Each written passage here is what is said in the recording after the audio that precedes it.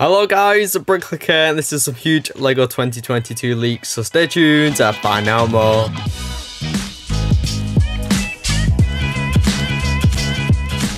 If you do enjoy the video, why not subscribe as well as turn notifications and like the video, but let's get into it.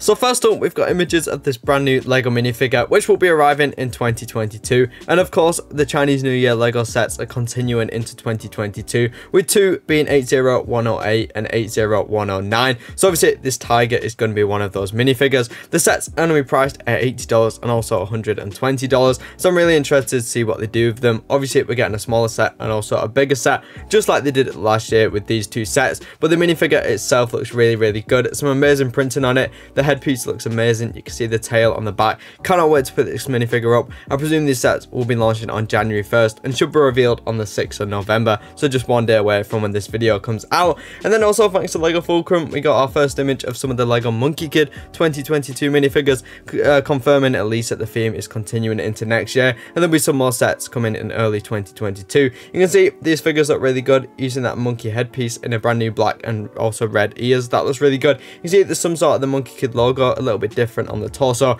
I'm sure that'll fit into the storyline somehow. These look great, and obviously the villains are probably going to be these ones for the next two sets. And then 40557 and 40558, they are the Star Wars minifigure packs. We now have set numbers for them, and we know that these will be launching on January 1st, 2022 for $15. We don't have a clue what are included in them yet. Apparently, it's rumored there's going to be four minifigures in them, but these will be coming on January 1st for $15. And of course, we got some more pictures of the AT-AT, obviously the UCS one, after the initial leak a few days ago now. see the front of the box, the thing looks massive. You can all see on the back, the thing also has an interior, which is really good. Coming with nine minifigures, which I've also got images of now. Looks really good with uh, some exclusive printing on some of them. Just a great minifigure pack thought to go with the AT-AT.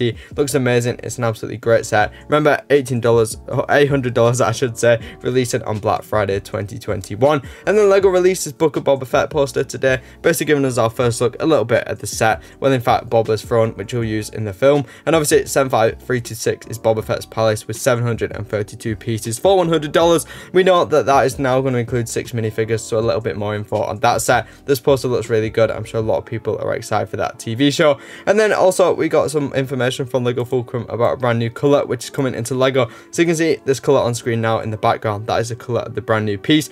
If you put this onto a LEGO brick, obviously it's a bit brighter than a normal LEGO brick. And LEGO Fulcrum also provided images of a torso, which this will be used on. You can see it's a lot brighter than the regular Lego. Here you can see it on C3PO, it looks really bright. So obviously it's going to be a new shade of yellow coming in 2022. Then we also got a first look at what the Star Wars minifigures for 2022 with this Scout Trooper. You can see there's loads of great printing on it, also continued onto the back. This one is going to be coming in the Hoth Trooper Battle Pack, which is $20, launching it on January 1st. So it's our first minifigure and looks really, really good. The quality is definitely improving with Lego Star Wars minifigures. And Promobricks provided some more information on the Hulkbuster, which is coming in 2022. This is going to be based on the second version seen in Avengers Infinity War, about 60 centimeters tall, so almost double in height of the last one, which is pretty interesting. There's going to be a plaque and one figure, which is most likely Tony Stark, but could be Bruce Banner, and it's going to retail from between 200 to 250 dollars and about 2,500 pieces.